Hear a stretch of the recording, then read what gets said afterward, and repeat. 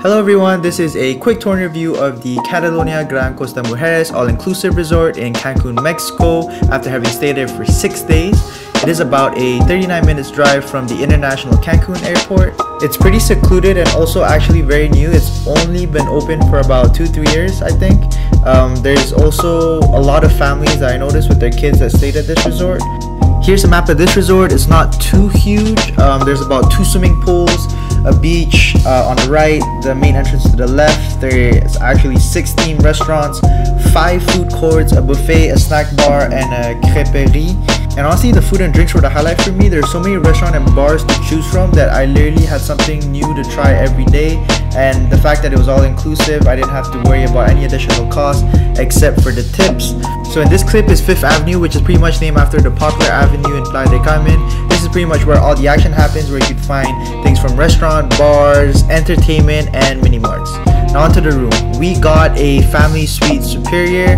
Our room was located right next to Fifth Avenue and the main entrance of the resort. Our room included two queen size beds, AC, scales, coffee machine, a safe, uh, ironing kit, a mini bar with all the drinks already included, a hair dryer, a walk-in closet that you just saw. Here's the bathroom, free Wi-Fi. Here the showers with the rain head.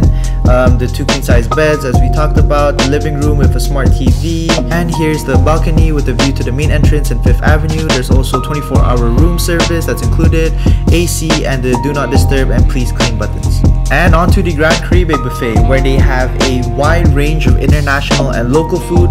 They also have a wood fired pizza oven. But my favorite thing about this place is the show cooking area where they make fresh tacos from scratch on their stove tops. They also make meat or fish on their stove tops. They also have cold cuts, salad, bread, cheese, poke bowls, desserts, french fries, hot dogs, pork, literally anything you could think of, they have it. And they're open at breakfast, lunch, and dinner at selected times. to the a la carte restaurant. There's about nine total, but the one we went to is Ayami, which is also a crowd favorite because you have the chef perform in front of you before cooking Asian style dish on the teppanyaki grill.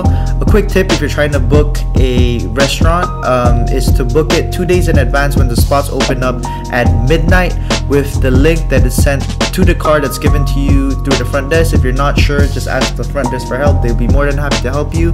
But I do recommend you to sign up as soon as you can as the spots do tend to fill up quick pretty much within the hour of opening. Now if you're like me and you need your coffee fix, there's a shop called Aromes that's open throughout the day. You can get coffee and small savory snacks.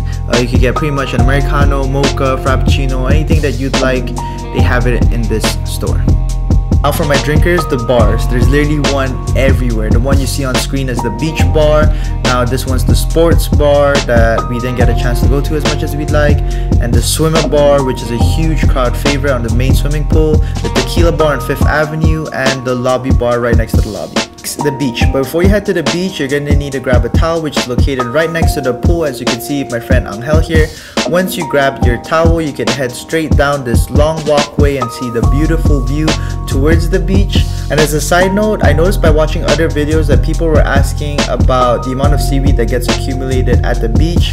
Honestly, out of the six days that we were there, there were two days that we did notice that it started piling up a little bit, but nothing to the point where it disrupted our experience at the beach. And honestly, um, when we did notice it, the next day, pretty much the seaweed was gone as the staff did make an effort to remove them. Now with regards to the chairs, we didn't have problem finding them in the afternoon, but I do notice that if you're there earlier in the morning that it does tend to get filled up. And last important note is that there's not much shade when you're there, so maybe think of bringing shade to cover you guys. Now for some of the activities, if you do have a teen, there's a teen room where you could play chess, you could play the Switch, you could play billiards, you could play the Xbox or my favorite, ping pong. Uh, on the beach, there's also other activities where they did host uh, a beach party as you can see in this clip.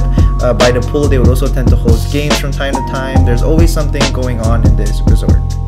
And finally, the entertainment. If you don't find them performing in Fifth Avenue like I showed in the beginning of this video, you can find them in the theater. On this night, they were doing a Disney themed performance, so there's literally something to do every night in this resort. If you want to see a more day in the live view of this resort or hear about the story about how the ice cream man from this resort gave me a gift, then click on this video.